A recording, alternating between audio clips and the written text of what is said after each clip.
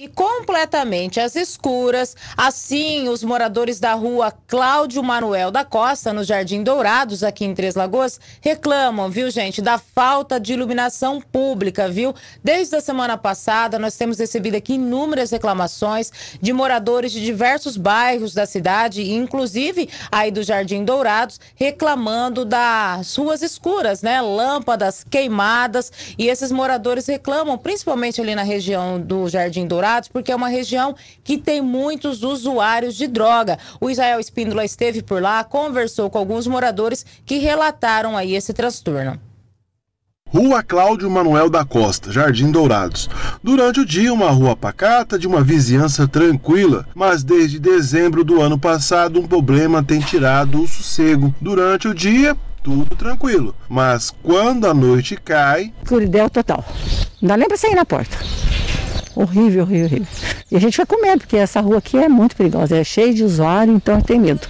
A dona Elza é moradora no endereço há mais de 20 anos e conta que o problema começou em dezembro do ano passado. Ela lembra a data e o dia do apagão. Vale lembrar que a Prefeitura de Três Lagoas assumiu a responsabilidade da manutenção da iluminação pública no dia 22 de dezembro. Os moradores até procuraram os responsáveis, mas nada foi feito. E este problema já dura um mês e a falta de iluminação pública acaba gerando outros problemas que os moradores precisam enfrentar.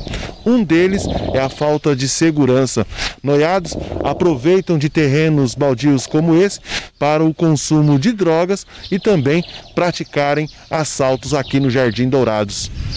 Com medo, os moradores precisam investir em segurança. Cada um gasta como pode: caco de vidro, concertina, sistema de monitoramento por câmeras e até cerca elétrica. Tudo isso porque onde era para iluminar está apagado. Mas todo este aparato não evitou que o ladrão entrasse na casa da dona Rosângela. Ela teve sorte por conta dos cachorros. Tentaram entrar na minha casa, entraram no quintal, mas os meus cachorros latiram, né?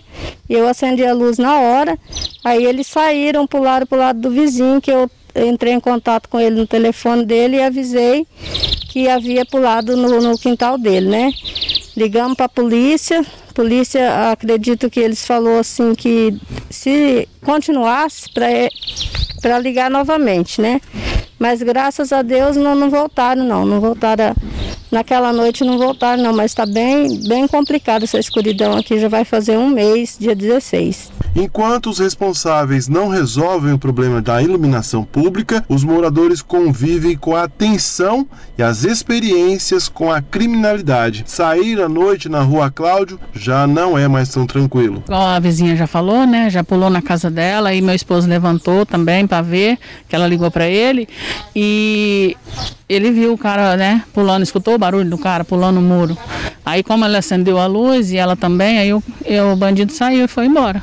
Mas aqui é, tá, tá uma dificuldade tremenda, escuro à noite, que ninguém enxerga nada aqui fora. Não tem como você sair aqui ó, e ficar aqui para resolver alguma coisa, porque não pode. Outra coisa, além da escuridão, do medo, os moradores estão pagando a taxa de iluminação pública que vem na conta. Vai, vem do talão, você tem que pagar.